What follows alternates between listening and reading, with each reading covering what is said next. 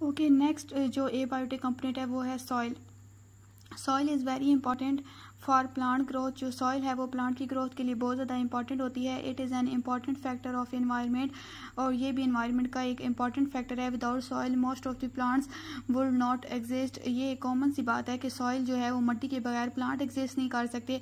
Plants get water and necessary minerals from soil plants जो हैं water और जितनी भी जो नेसेसरी न्यूट्रिएंट्स होते हैं मिनरल्स होते हैं, वो सॉइल से लेते हैं। Bacteria present in soil provide important compounds to the plant, जो बैक्टीरिया हैं वो भी सॉइल के अंदर, यानी मट्टी के अंदर मौजूद होते हैं। जो प्लांट्स को इंपॉर्टेंट जो कंपाउंड्स होते हैं, वो प्रोवाइड कर रहे होते हैं, अवेल मुहैया कर रहे होते हैं।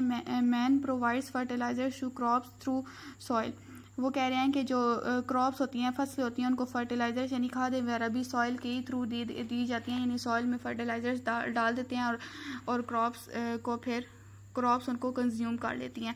नेक्स्ट जो नेक्स्ट एंड जो लास्ट ए बायोटिक कंपोनेंट है, वो है water water is essential for life जो वाटर है, वो ज़िंदगी गुजारने के लिए बहुत ज़्यादा असेंशियल यानी ज़रूरी है। It is present in the environment of every plant and animal वो कह रहे हैं कि ये हर जो इन्वायरमेंट है प्लांट और एनिमल का, जहाँ पे प्लांट्स और एनिमल रह रहे हैं, ये वहाँ पर मौजूद होता है। ये प्रेजेंट होता है। The amount of rainfall throughout the year determines the amount of water available at any place वो कह रहे हैं कि किसी भी जगह पर जो रेनफॉल का जो बारिश का रेट होता है, उससे पता चलता है कि उस जगह पर कितना पानी मौजूद होगा।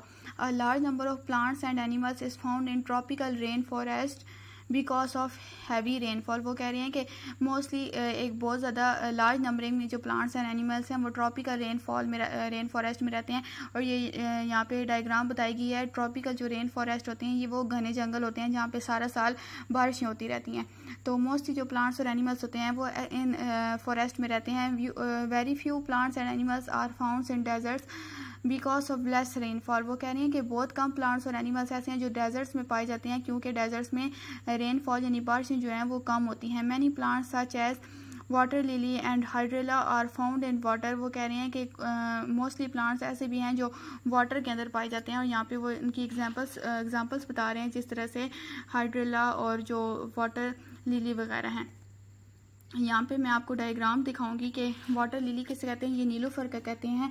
नीलोफर की एक टाइप होती है और जो हाइड्रेला होता है, ये भी एक ग्रीन कलर का कलर का प्लांट होता है जो वाटर के अंदर प्रेजेंट होता है। ये इनकी डायग्राम्स हैं दोनों। ये ये, जो है फ़र्स्ट वाला, ये हमारे पास